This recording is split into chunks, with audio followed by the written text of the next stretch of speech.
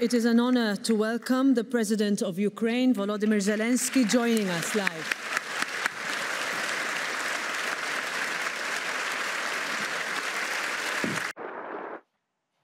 Thank you so much.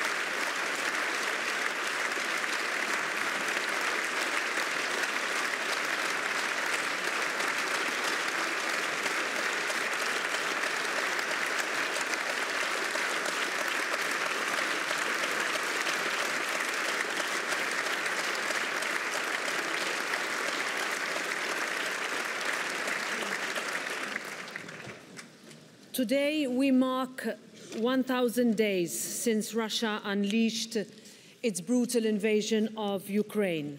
1,000 days of terror, suffering, and unimaginable loss. 1,000 days of courage, resilience, and unbreakable spirit.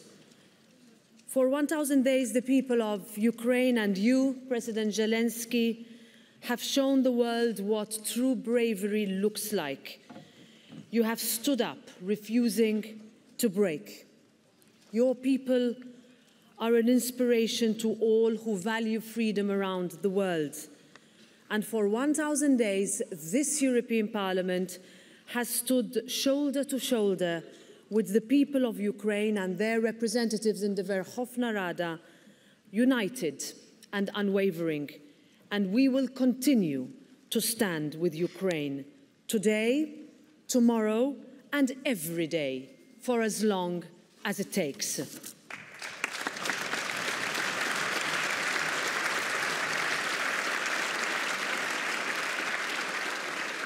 This is an assault not only on Ukraine but on the rules based order, an assault on our values and on our way of life. Peace, democracy, and freedom, this is what is at stake here. And we know the sacrifice the Ukrainian people are enduring, not just for themselves, but for all of us. I will forever be proud that this Parliament has led the charge in supporting Ukraine with political, financial, humanitarian, and military assistance, and we will always stand for peace, a real peace based on justice, dignity, and the principle of nothing about Ukraine without Ukraine. This is why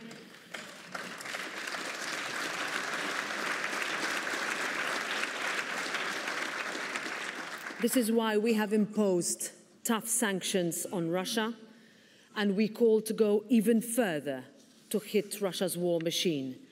This is why we were the first to call for Ukraine's rightful place inside our European Union and this is why we were there on the ground in Kiev just a couple of weeks after the invasion began.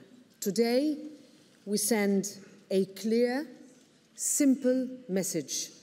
We stand with Ukraine until freedom, until real peace, for as long as it takes. Slava Ukraini.